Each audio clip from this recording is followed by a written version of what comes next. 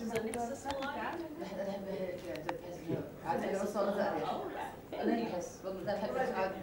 It's enough to go back. Okay, thank you.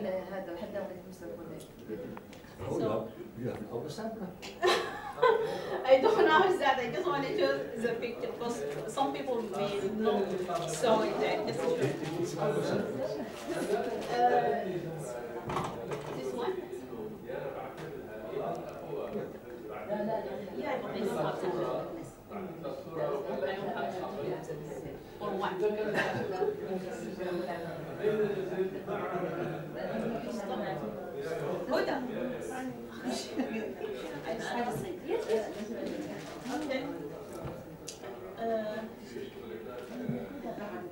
This, I'm gonna talk today about uh, some analysis for, uh, for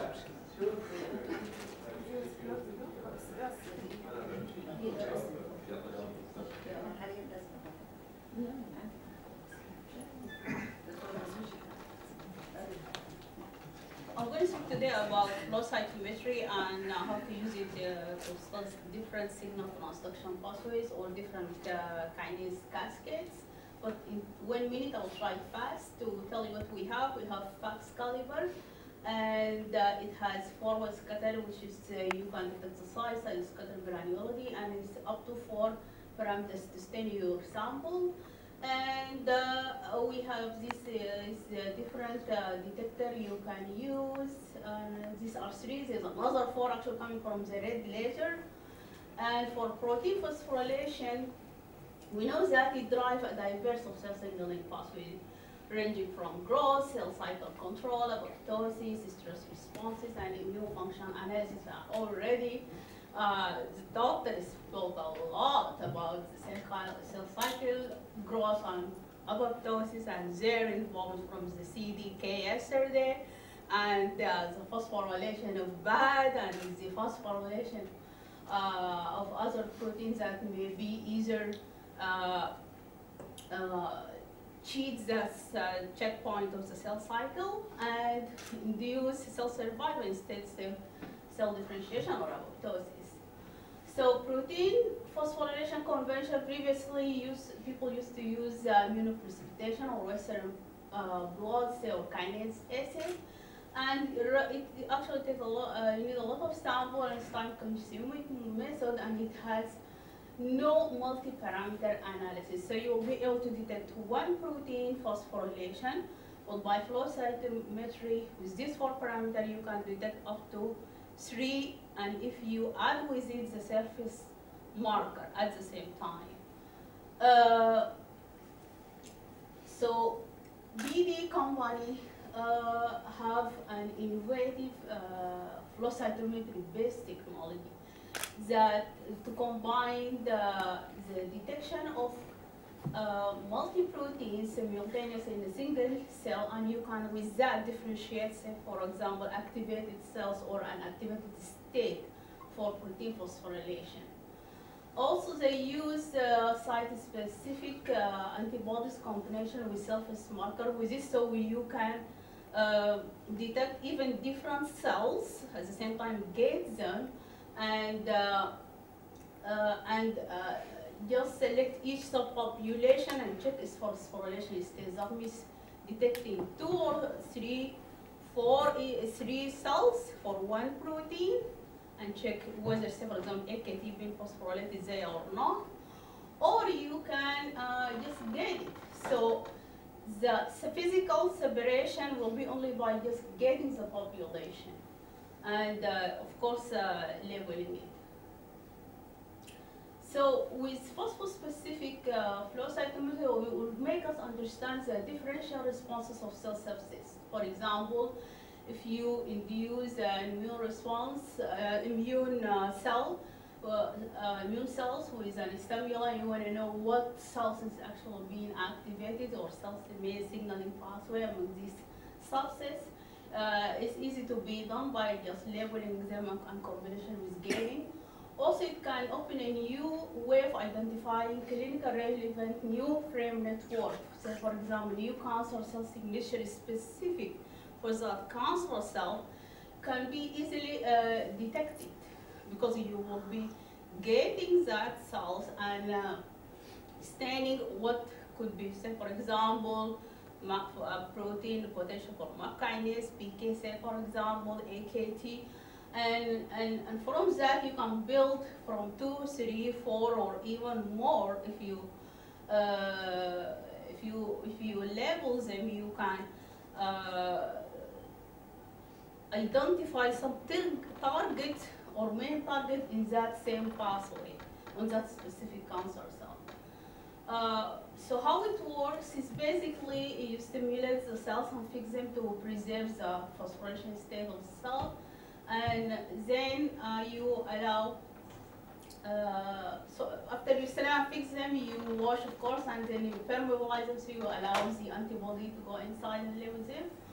Uh, stain it and uh, with surface stain and the uh, intracellular to detect protein phosphorylation and you just analyze them by flow cytometry. And you can, oh, I, I wanted to point at this time. I'm checking, I found myself in the second one, sorry.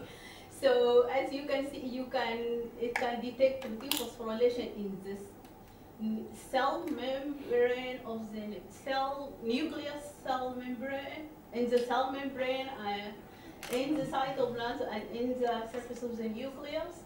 Or uh, it's, possible to be uh, found it if it's there and its target could be uh, analyzed. So it even tell you where this protein is uh, that being activated is working, whether it's in the cytoplasm, whether it goes uh, inside the nucleus or only act as a receptor level in the uh, uh, yeah, cell surface.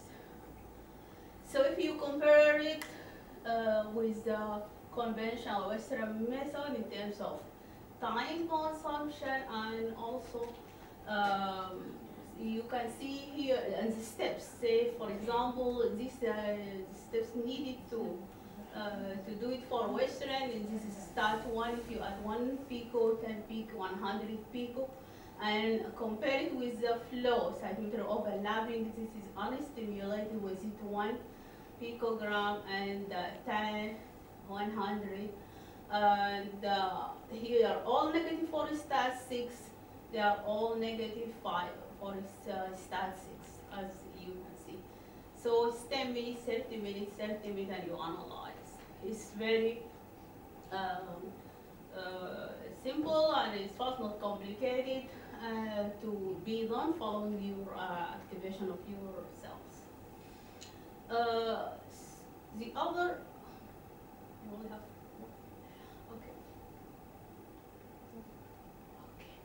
And using that technique, this is one of my results to check for a PDBK1 phosphorylation on monocyte. So I just uh, activated the peripheral blood molecular cell for the specific assigned time, fixate, permeabilize it, and stain. And here is a result uh, uh, um, shown. And uh, this is just an example for using uh, this uh, protocol. the technique for detecting intracellular proteins, it could say differentiate between induced and induced, induced cells, also between uh, treated or untreated cells, but there is other uh, numbers of, vari of, variables you need to consider specific for phosphorylation. The culture condition, uh, you have to be careful when you are uh, doing your, uh, your culture, say you're working with cell line. Uh, there is a specific cell number, uh, range, you don't want the cells to be too crowded. You may have intercommunication between the cells, may change the uh, protein, the phosphorylation status of the cells. That when you detect it's not actually because of your treatment, but it's because of the, the cells are too crowded. Also, your cellular manipulation, it has, sorry, your cellular manipulation, it has to be, uh, in terms of count, it has to be the same for treated and treated also uh, in terms of pipetting, uh, specificity of your, uh, the protein you're going to be detecting. Most of them, they design them if you're detecting protein phosphorus is direct staining, so right away to the epitope.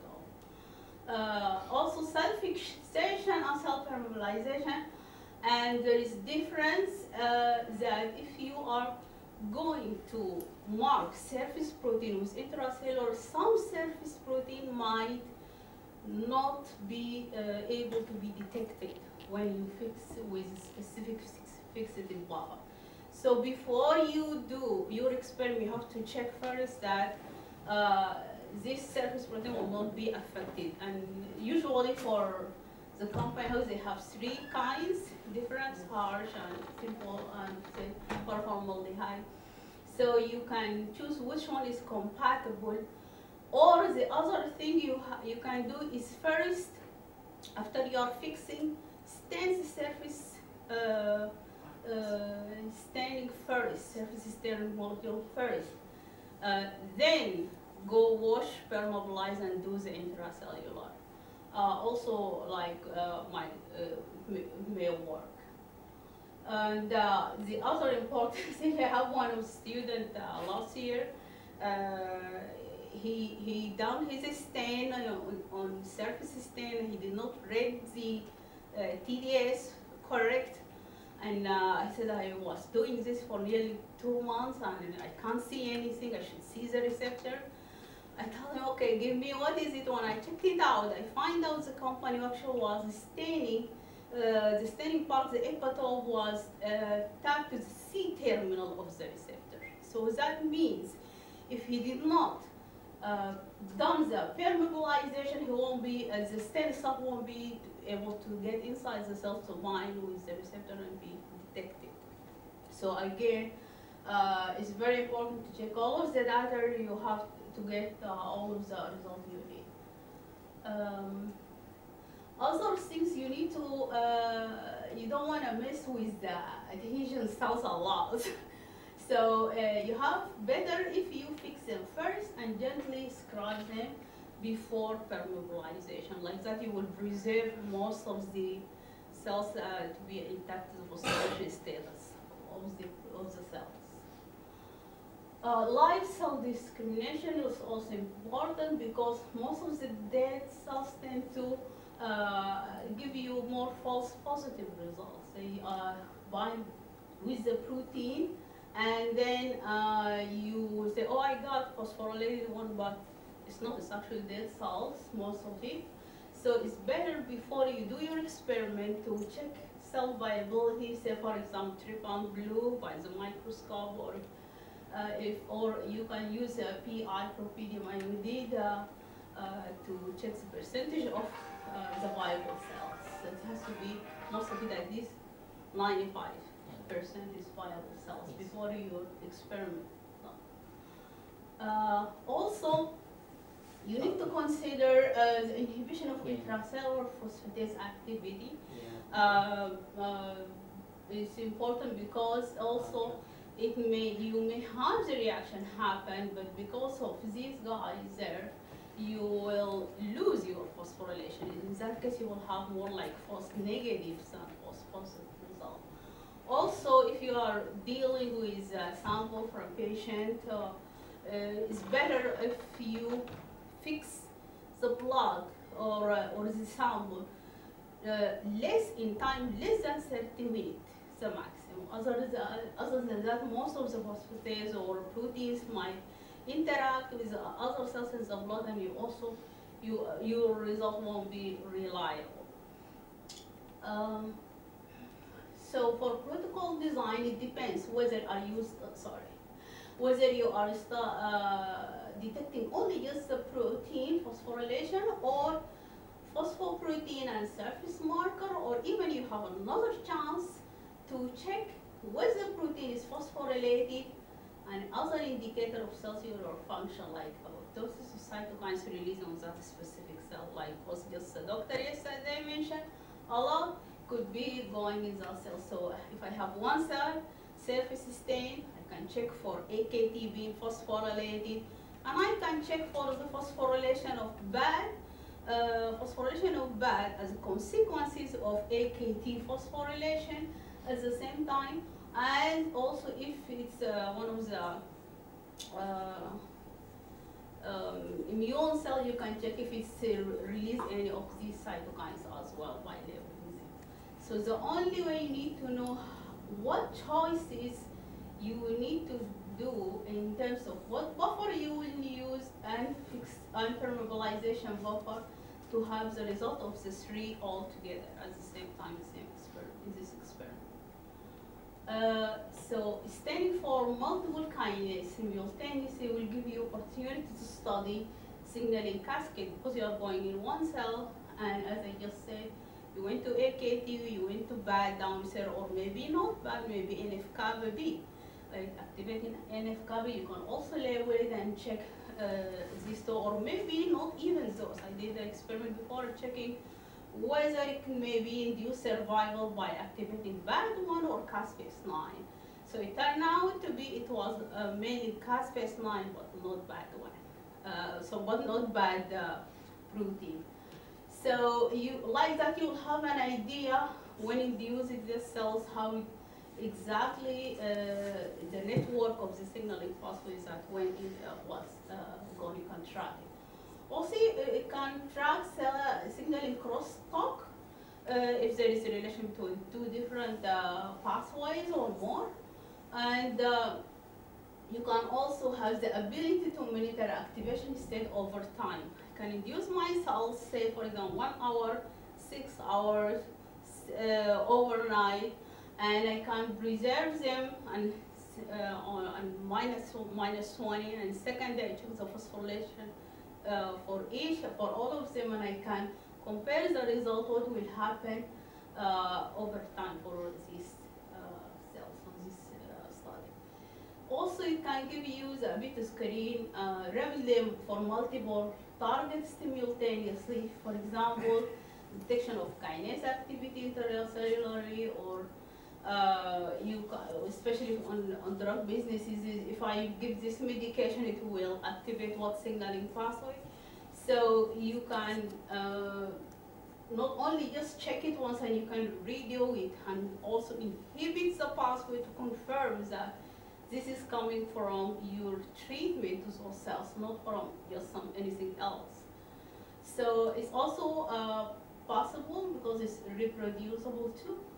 Uh, and this is an example. This is an example of AKT pathway. Here is AKT being phosphorylated. For example, this is here activating caspase 9 or activated bad, this one, and it will lead to cell survival, the outcome of the signaling pathway. Or maybe crosstalk, as I just mentioned, say crosstalking with an FKB uh, pathway or crosstalking with the caspase cascade like that if I have an, uh, an inducer of apoptosis and and and AKT, say for example, that inducer could also activate AKT phosphorylation for two position, uh, and that one uh, phosphorylate caspase 9, it could stop the apoptosis and allow the cell to survive. So uh, you can connect even different mechanism or uh, going in the cell or, or at the same time. Uh, also, you, for example, here it shows um,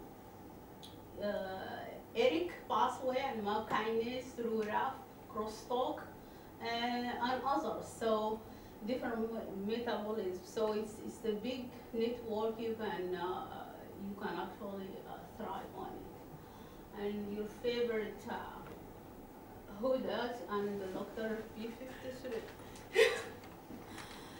so uh, test for specificity, how would you confirm, well, I got my protein phosphorylation, like you gotta prove it.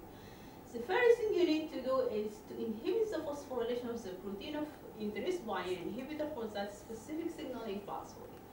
And check if you have reduction in the phosphorylation status of that uh, cell that means it's, it's your target, it's, it's okay.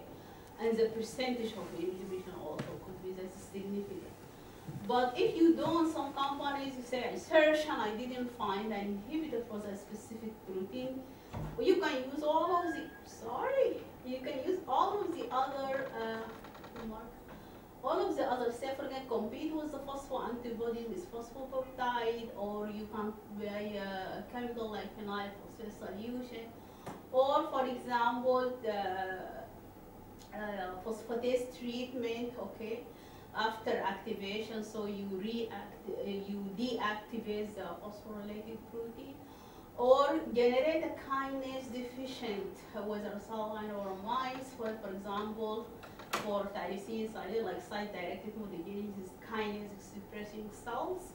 And a knockout cells, also you can compare it with say, a wild type, so you know knock, knock, knockout cells won't be expressing that. Alright, Fast, we'll go fast, come on. Okay. Also, some specific consideration need to be taken when dealing with cell lines that it's necessary to stop them for a period of sequence stimuli for protein delicacy ranging from 6 to 12 hours, but no more than that, so you may activation stress responses for phosphorylation and uh, it's going to be in a mess. So also, uh, you, as I mentioned before, cell density has to be in the range between 1 to 5 times 10 to 5 cells per ml is recommended because high density might change the signaling properties of most of the cells. And here is the references I used. Graduated from uh, Khartoum University, uh, microbiology immunology faculty of medicine, did my master McGill University, uh, Microbiology Immunology Faculty of Medicine, Montreal, Quebec. I work as teacher assistant uh, before following my BSCC at Khartoum University. Also, I work at McGill University uh, in uh, nanotechnology product. Work, did my master on Biotechnology Research Institute, National Research Council of Canada, working on bacteria degradation pathway project. I also work on immune technology uh, for development of monoclonal antibody for gene therapy. Uh, also done some training with Royal Victoria Hospital in Montreal, work with cell line, reporter genes, and disciplinase assay. Uh, and currently flow cytometry specialist with Jawhar Center, uh, AGU. Thank you very much. So, any questions? On time? On time, on time. You make uh, serum starvation to arrest the cells in G1 phase. Okay, so they don't work. So when I stimuli, I know whatever happened next is according to what the stimuli I give it. Okay, thank you. So you make an arrest by s- uh, serum starvation Mm-hmm. and all cells go to the G1 phase and after you give serum again, yes, you make a stimulation. yes, But you have for all cells the same conditions. yes, of course, stimulated and unstimulated. And they started to proliferate after your uh, removal starvation. Exactly, yes. Uh, Actually, G, as you mentioned yesterday, G1 phase is a place for a lot of things. Also, the differentiated cells I spoke to you about, I uh, doing the cell differentiation. Also, they were like cell cycle, a lot of S phases and G2, and suddenly all of the cells differentiated are in the G1, no other. Yeah. And I can see it. It's so you have incredible. e- yes. Exact conditions for all cells. Okay, information. Thank you very much. And thank you for this. I appreciate it. Thank you very much. Thank you. So yeah, who is the Victor? اكسلنت Oh, is that هو يلا فيك. هو سؤال الهدى بس بقول لها إيه اللي فعلا إيش اللي خلاها ترجع بدري هذا السؤال الصعب أيوه خد الله يعينك حبيبي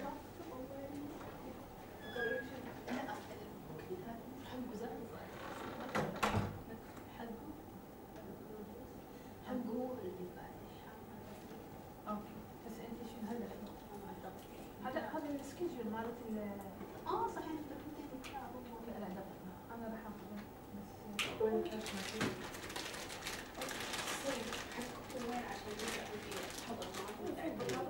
مختبر مع احمد اول اول باب علمنا خلص ان شاء الله بنجي لكم so we can benefit from stars.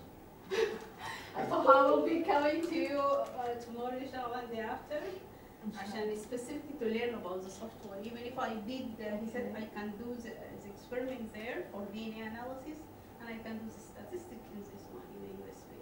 Okay. Yeah. Statistic. Okay. Yeah, uh, statistics and for the DNA, same like uh, the one he was using. So this is your lecture, uh, prognostic, no? Prognostic predictor. Yes, Better It's the- fine. yes, yes, okay. I just yeah, okay. Because I have to. Where is this? Is uh, oh, where is I, because I have to sign sign out. No. Where is the sign out? Uh, every uh, every faculty has his. Uh, One password. Yes, one password and uh, username. If I switch it on here, I cannot switch it on in other lab. That's why. I, Oh, That's the same problem. yes. For, for each machine, Yeah, really the specific password. Okay. Yeah. So I have five machines. So we take the lift to the to the lab. And they have to enjoy themselves with the director. I told them the whole room for you. Come.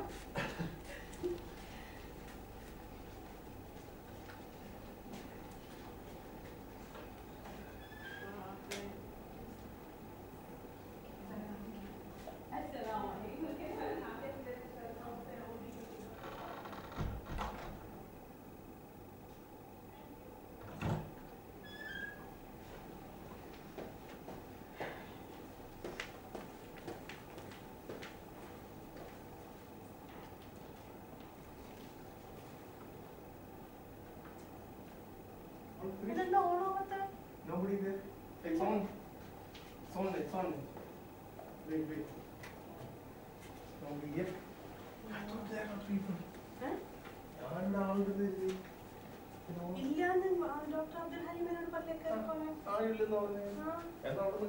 ഞാൻ കരുതി അവിടെ എടുത്ത് കഴിച്ചിട്ട് പോയതില്ല ആവശ്യം പോലെ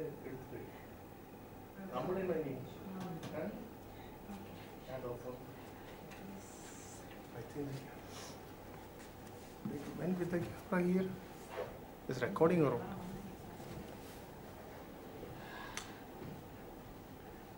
still recording? Not recording. Yeah, recording. They should didn't, didn't stop.